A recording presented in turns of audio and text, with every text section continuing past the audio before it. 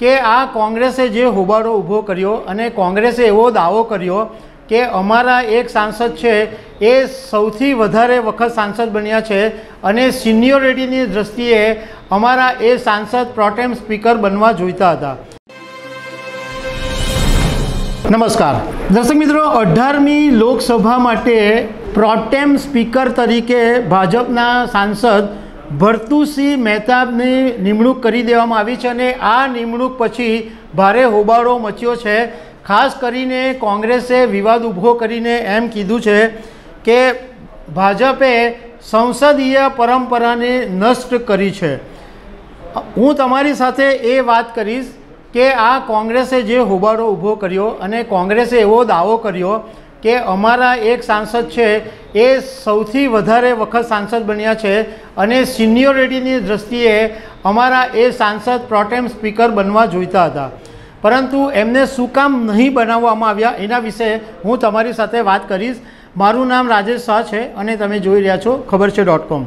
દર્શક મિત્રો જે લોકસભા બે હજાર ચોવીસની ચૂંટણી થઈ અને હવે પહેલી જે લોકસભા મળવાની છે એ ચોવીસ જૂને મળવાની છે અને ચોવીસ જૂને જે લોકસભા મળશે એ પ્રોટેમ સ્પીકર આખું સંભાળશે અને એ અઢારમી લોકસભા હશે. હવે આ આ વખતે જે પ્રોટેમ સ્પીકર તરીકે નિમણૂક કરવામાં આવી છે એ ભરતુહરી મહેતાબની કરવામાં આવી છે અને તેઓ સાત વખત સાંસદ તરીકે ચૂંટાયા છે.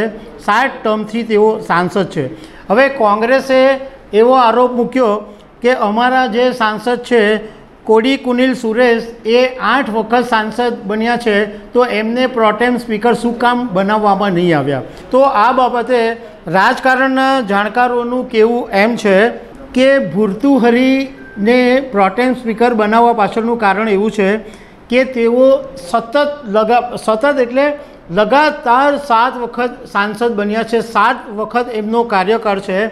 જ્યારે કોડીકુનલ સુરેશ છે, એ આઠ વખત જીત્યા તો છે, પરંતુ એમનો એક સરખો કાર્યકાળ નથી. એમનો જે સળંગ જે કાર્યકાળ છે, એ માત્ર ચાર વર્ષનો જ છે. એટલે એના કરતાં વધારે સળંગ જે કાર્યકાળ છે, એ ભરતુહરી મહેતાબનો છે. એટલે ભરતુહરીને પ્રોટેમ સ્પીકર બનાવવામાં આવ્યો છે.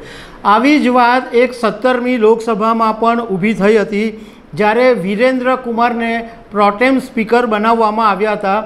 સિનિયોરિટીની દૃષ્ટિએ જોઈએ તો મેનકા ગાંધી તે વખતે સૌથી વધારે વખત જીતેલા સાંસદ હતા. એમનો કાર્યકાળ પણ એમનો કાર્યકાળ ઓછો હતો. એટલે મેનકા ગાંધીને પ્રોટેમ સ્પીકર બનાવવામાં નહોતા આવ્યા. તો દર્શક મિત્રો, આવી અનેક વાતો સાથે અમે તમને મળતા રહીશું. Thank you very much